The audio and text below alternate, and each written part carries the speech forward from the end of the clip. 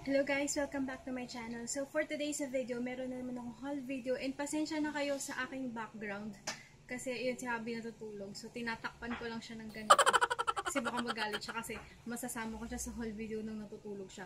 So pasensya na kayo sa background kasi wala akong oras para ayusin to and kailangan kong iraos tong video na to kasi matagal na akong walang walang video. Puro cooking show yung video ko. Isahan na natin. Um, galing ako sa ano, yung Ali, sa Alimol Cubao, meron silang bagong parang shop. Parang alam niyo yung yung mumuso, miniso, yung mga ganon, yung mga made in China pero parang merong um, inspired by Korean kagaya ng miniso, 'di ba? Parang ah, inspired by Japanese, parang ganun pero made in China sila kagaya rin ng mumuso. Parang Korean inspired yung mga yung mga paninda nila pero made in China. And ito may nakita ko. Ito hindi ko alam kung Korean-inspired or Chinese-inspired na rin to, pero made in China din tong mga to. Ito yung Simi, Zim, Simi Vogue. Hindi ko alam kung tama yung pronunciation ko.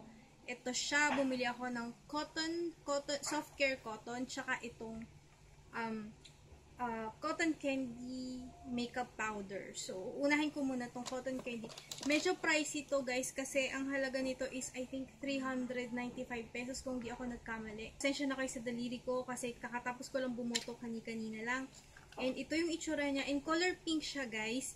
And ito kasi naisip ko minsan kapag meron akong eh no, color pink siya, naisip ko kasi minsan may mga times na yung yung foundation or yung powder kapag medyo yellow, hindi siya nagko-complement sa skin tone ko kasi meron akong pinkish na undertone.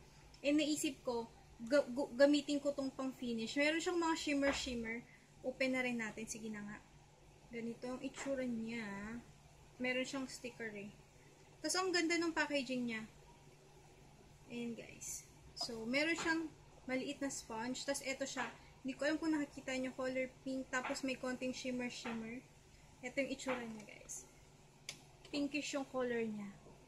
So, this is great for kagaya kong mga merong pinkish yung undertone. Marami akong product na nakita doon na medyo parang naging interesado ko. Kaso nga, yun nga, ako ay nagtitipid and iniiwasan ko ngayon bumili ng maraming mga makeups kasi nasa ano ako, nasa part ako ng aking buhay na nagbabawas ng mga makeup and ayoko magdagdag kasi sobrang dami ko ng makeup as in hindi ko sila nagagamit. Naman is I think this is 100 pesos or 99 pesos basta nasa ganung range lang.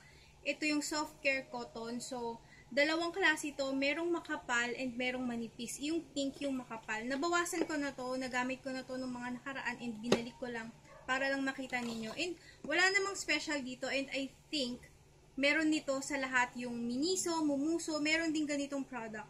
Ito, meron sila ng makapal. Ginagamit ko to pang ano, pang linis ng aking face, yung kunwari toner, ganon. Ito naman, meron sila yung manipis. Ginagamit ko naman to sa mga product na halimbawa yung yung Maxipil Zero, yung ganon kasi medyo mahal siya, 75 pesos tapos maliit lang and tinitipid ko siya kasi yun, pang-apply ng mga ng mga ganong mga product. Next naman guys is this itong Biore na UV Aqua Rich Water Essence SPF 50 plus PA plus plus plus plus so apat na plus. So ito siya, ito yung itsura niya and ito yung itsura ng kanyang karton. Ayan, ito sila. Alam niyo naman na hindi ako fan ng mga sunblock or mga sunscreen kasi nga kagaya ng sinabi ko hindi ko alam kung paano ko sila ilalagay sa aking skincare routine. Pero ito, uh, medyo okay to kasi isang cream lang, parang 3-in-1 na siya. Yung effect niya sa akin, nakaka-moisturize na ng, ng face ko. Para na rin siyang primer at the same time, sunblock SPF 50. Pero ang ginagamit kong pang retouch na sunblock ko is yung sa Prestige uh, sunblock spray. Kasi syempre, di ba kapag naka-makeup ka na, nakaayos ka na, hindi mo naman pwedeng i-reapply to kasi masisira yung makeup mo. So, sunblock spray yung ginagamit ko. But this one, hindi ko akalain na magugustuhan ko to. Actually, plano ko tong ipamigay talaga. Ibibigay ko sana kay mama. Pero naisip ko, sabi ko, itry ko muna kasi parang hinuhusgahan ko na yung product nang hindi ko pa natatry. So, nung trinay ko, nagulat ako, nagustuhan ko kasi, yun na nga, moisturizer, primer in one. Ito, nakatulong to kasi dati dalawa yung ina-apply ko sa face ko. Isang moisturizer and isang primer. Pero ngayon, nakapag-apply na ako ng sunblock, tapos isang product na lang yung nilalagay ko sa, sa face ko. Pri kumbaga, 3-in-1 na siya, primer, moisturizer, at saka sunblock. Yun, paulit-ulit ako. So, Hindi ko alam kung magkano to, pero may nakita akong ganito sa mga department store, sa SM, sa Watson. Parang may nakita ako. Hindi ko alam kung napakita ko to sa haul video ko noon. Itong Alolane Pixel Color Cream. So, ang, ang nabili ko before is Extra Light Ash Blonde. So, this is for, um, so this is for 129 pesos. And kin- kinolor ko to sa hair ko. And yun nga, sabi ko parang hindi pa ako convinced sa color niya. Kaya, nag-purchase pa ako ng dalawa, pero nakita ko meron pang mas light, yung P18. Ito yung lightest ash blonde. So, P18. So, ipapakita ko sa inyo.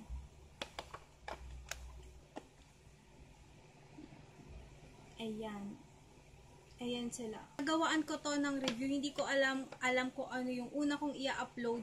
Kung yung review ko nito, or itong whole video na to. Pero, yun, panoorin nyo sa video na yun kung paano ko to na-achieve. Kasi ginamit ko tong tatlo na to.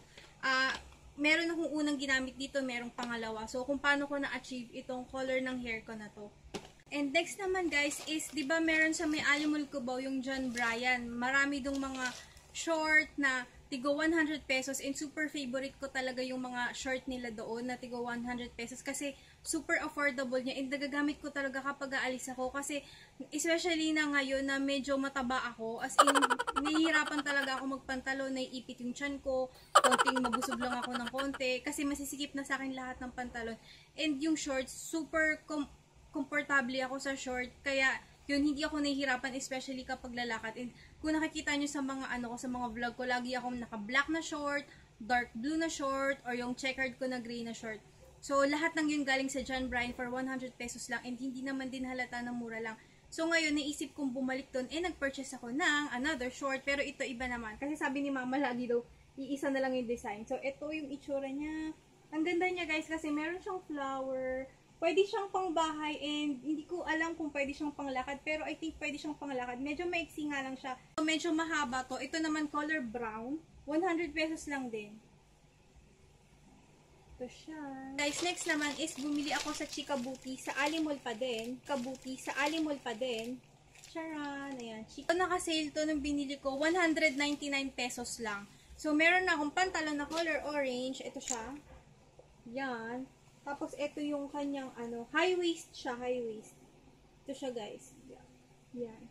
199 pesos lang to sa Chika Booty sa Alimol Cubao. And, gustong gusto ko yung fitting niya. Ang ganda ng fitting niya. Nakaka-sexy. Ang ganda. Kaya, yun. Si mama pinilit niya talaga tong ibili sa akin. Si mama yung nagbili dito sa akin. And last na guys, para mabilis lang itong aking haul video. I think alam nyo na paulit-ulit ako. Hindi ko alam kung nakita nyo na to sa mga previous haul video ko.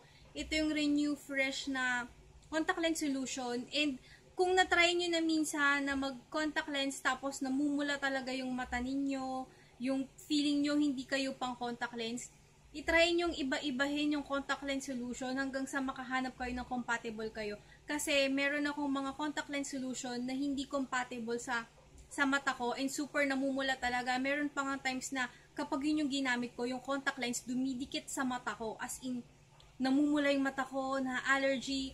Akala ko ako yung may diferensya. Yung pala, yung contact lens solution. And ito, nahanap ko yung hiyang sa aking contact lens solution itong Renew Fresh na to. And meron na din tong free na uh,